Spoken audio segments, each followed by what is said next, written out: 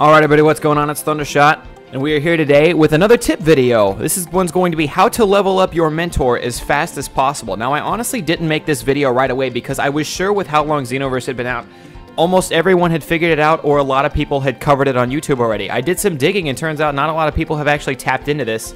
Um, there's, a, there's a couple videos, there's a couple smaller videos out about it. There's a few things I found online, but there's nothing really helping people out with this one. So I'm like, okay, yeah, I'll, I'll definitely do this. The only reason I didn't do it sooner is because I was sure somebody had done it already, or because it's kind of a, it's a very, it's a thing someone could have made a video on. I'll say that much. but no, uh, for characters, I'll explain why.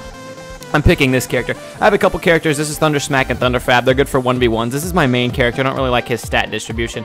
Uh, this is Thunder Gal. She's a ki spammer. She has 100 in ki Blast. She has 100, or she's working on 100 in ki. She's not there yet. And then she has a few points in health. She's got about 30 points in health or so. Now, I don't use her for 1v1s. She's a very ki spammy character. I don't use her for 1v1s. I don't know if I ever plan to, but I did make her to get through missions as fast as possible. I recommend having at least one character that is a Saiyan or Earthling female that can just ki spam moves all day. Uh, I pick Saiyan because I want to be able to go Super Vegeta and or Super Vegeta 2 just to, again, spam Ki Blast all day. Because Ki Blast spam eats through the computers alive, and while it may be annoying to play against, uh, if you ever have like a one-on-one -on -one, in the online realm and the versus realm, it's really good for just getting through quests as fast as possible. That's going to come in handy. So if any of you guys are wondering, uh, Thundershot, how do I find any mentor that I'm looking for? I can't find Cell. I can't find Beerus. Where's Goku at? Uh, I can't find anyone who I've gotten from the DLC. Where's Tien or Yamcha or Pan for that matter? this is not the video for you, but my buddy Rhymestyle did make a video on that, so remind me if I forget, but his link should be in the description down below on how to uh, how to find any mentor you want as fast as possible. Uh, but no, this video is about how to level up your mentor as fast as possible. So in case you guys don't know, if you push start, you come down to play data, uh, you go over R1 or L1, either way. and then you'll see, you'll come to your mentor meter. Now as you can see, I've completed almost every mentor in the game so far. I've completed every mentor that came standard on disc besides Cell. He's about halfway done. He's a little over halfway done. And then if we come down here, I've maxed out Yamcha. I'm about to max out Pan, and I've never actually seen Tien. So I'll, I'll bump into Tien eventually. Um, if you guys are just starting the game or if you guys haven't really completed a lot of mentors yet, my honest recommendation is just pick whatever mentor up you find, like complete whatever mentor you're on, pick up whichever one you find. The only exceptions to this are if you see Goku or Beerus, because it seems like they have a really low spawn rate for some reason, but it took me forever before I actually saw Beerus. But what I did is I just picked up a mentor, I would stay with that mentor till I maxed him out, and then I moved on. A couple more things you have to worry about. Uh, Gohan and Videl and then Vegeta will come to a point where they require a specific Z-Soul. The Z-Souls can be found in the parallel quest if you just look or if you don't know how. You can Google what parallel quest you need for Gohan and Vegeta, but there will come a point when you can't get any higher with Vegeta or Gohan and Videl until you find a specific Z-Soul, so keep that in mind. Aside from that, uh, we're going to talk about leveling up your mentors. So, my bird won't shut up, I'm sorry. Excuse me. Leveling up your mentors. So, Parallel quests, I believe, I'm about 99% sure the only way to level up your mentor. Just completing parallel quests in general. I do not think anything in the online verses helps level up your mentor meter. I might be wrong on that. Correct me if I'm wrong, but I'm pretty sure what you do in online versus will never help your parallel quest or will never help your mentor stuff. But aside from that, as long as you have this mentor and you are doing parallel quests, doesn't matter which ones, doesn't matter who you use, doesn't matter what move you do, as long as you're completing parallel quests, you will level up your mentor. Now, if you ignore everything and you just play online with friends, you just do missions over and over again, or you just play offline, you pick whatever partner you want, whatever, then you will level up your mentor. It might be slower. It will definitely be slower than the methods I'm about to give you, but if you can completely ignore your mentor and still level them up, I will say that much, just so long as you were doing parallel quests. However, to speed this process up a little bit, I have a few tips and tricks. That's what this video is going to be about today. So, the first thing you can do to help level up your mentor meter, this means every time you complete a mission, your mentor meter will go up a little bit. Now, I will say one thing, the mentor meter does appear to have lag. For example, I could do 10 missions and do the best things I can do to help level up my mentor meter with Pan, and Pan's bar might not move. I have seen lag before, and then all of a sudden, instead of just going up a little bit, Pan's meter will jump straight to the top after about the 11th mission or so. And I'm just pulling these numbers out. I don't know any specifics, but Sometimes the mentor meter will lag and you won't see any results, and then all of a sudden, boom, they'll fill up half a meter instantly. I have seen that happen before, so keep that in mind. Just because it's not moving doesn't mean you're doing anything wrong. Um, aside from that, uh, to level up their mentor meter, we're gonna, I've said that way too many times, but Move, moving that thing up as fast as possible. The first thing you're going to want to do is you're going to want to try to spam the moves that your mentor has taught you. So the very first time you meet your mentor, they'll give you a move right off the bat, and after that, you need to put that move, whether it's shitty for your character, awesome for your character, doesn't matter. You need to put that move on your character. For example, Pan gave me the move Prepare to be Punished. What the move does is it raises all my stats, but it makes it so I cannot change who I'm locked onto, pretty much until they're dead. There's a, there's a time limit on it, but you understand but it's a pose. So I'm going to run Prepare to be Punished, and I'm going to spam that every chance I get. That's going to help Pan's Mentor meter move up quicker. Uh, second thing you're going to want to do when you go into Parallel Quest, I'm going to want to select Pan as my partner. And I think, I'm not sure if it makes a difference, but I think it does. I'm going to, since we're allowed to have two companions, I'm going to select Pan twice to be my partner. That's going to help move it up quicker. Doing parallel quests with your partner in offline parallel quest mode will also help you level up your mentor meter even faster. Now, I'm going to use mission number 15, and I'll tell you why. Uh, doing missions that have a possibility of dropping a Dragon Ball and are also fast kind of kills two birds with one stone. Now, if you guys don't know, I have a video on how to gather the Dragon Balls as quickly as possible. Uh, if I remember, the link will be in the description of the video. but you can just look it up on my channel. You'll find out how to gather the Dragon Balls as quickly as possible in Xenoverse. And I actually don't recommend doing mission 15 for that. And the reason for that is because you have to complete mission 15 before a possibility of a Dragon Ball is dropping, and then it kicks you out to the beginning. You have to run all the way over to the Parallel Quest booth again, do the missions again, and I didn't like that. However, for completing your mentor, this is actually a very good mission. Because you have to complete the mission, because you can't start a mission with your mentors and then quit out to the home screen before you finish it, that won't level them up at all. But with mission 15, I'm able to complete a mission so regardless, my mentor meter goes up. And then there's also a chance of a Dragon Ball coming out at the end, and it's a very quick mission to do.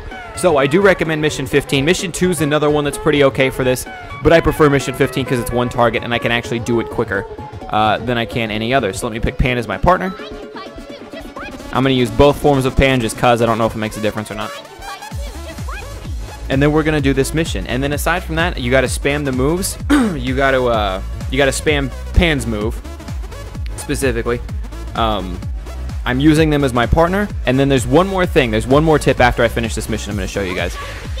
That I And this last tip is one that I think the least amount of people would know about. So going to go ahead and finish this mission. And once again, there is a chance of a Dragon Ball dropping. That's why I picked mission 15. It can be done very quickly, but there's also a chance of a Dragon Ball dropping. So let's go ahead and drop Pan's move first thing.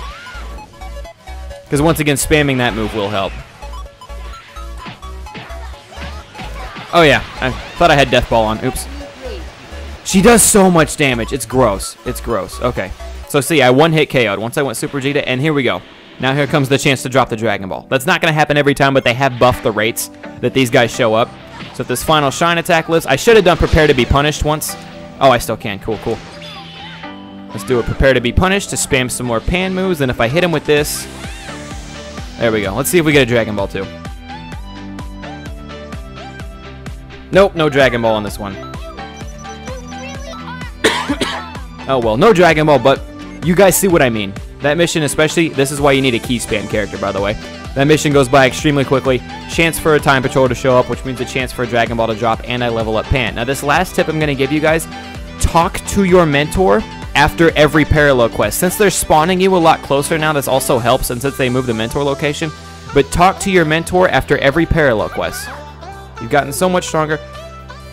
we do this for two reasons. Number one, uh, the mentor has a chance to give you something, some kind of Z or some kind of a capsule.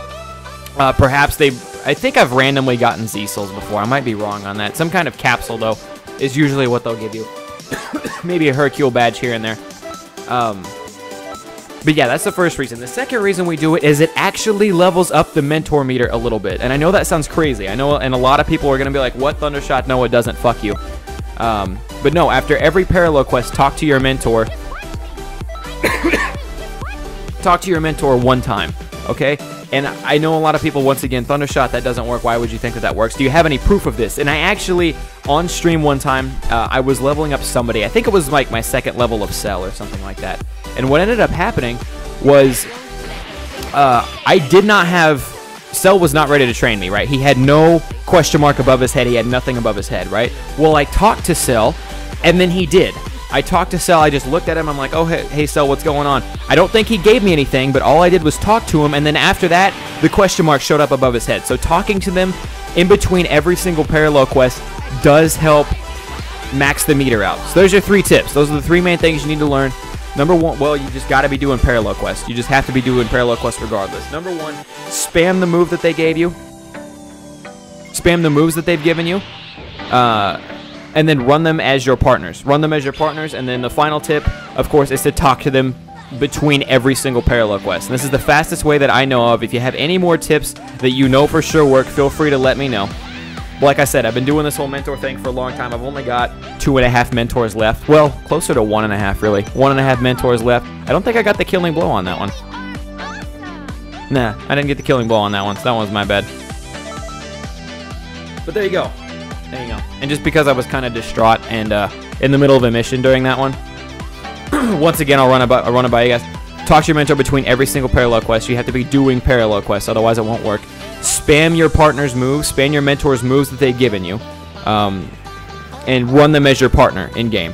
Those are the three main. So there you go. You guys got it all covered. You got the guys got the whole basis covered.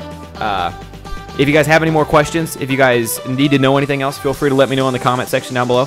This video has ran on a little bit longer than I intended, but there is kind of a lot to know about the whole partner thing. And as you can see, look at that meter. Go back and compare that. I might put a timestamp, but go back and compare that meter to what it was at before.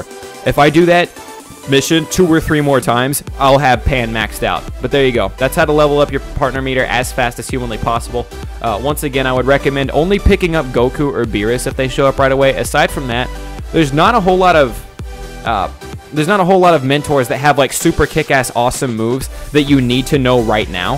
So just go through them as you see them. Just pick up a mentor as you max out. So you max out one, hey, this guy's rocking the shit. Yeah, just max a mentor out and then move on to the next, and then max the mentor out, and then move on to the next. And unless it's Beerus or Goku, don't even bother getting out of that. Just keep doing your thing. But yeah, that's going to wrap it up for me today, guys. I want to thank you guys coming out. Hope you guys enjoyed the mentor guide. I should leave a playlist all of my tips and tricks videos down below. We have how to level up as fast as possible. We have how to get Dragon Balls as fast as humanly possible, or as fast as possible in Xenoverse.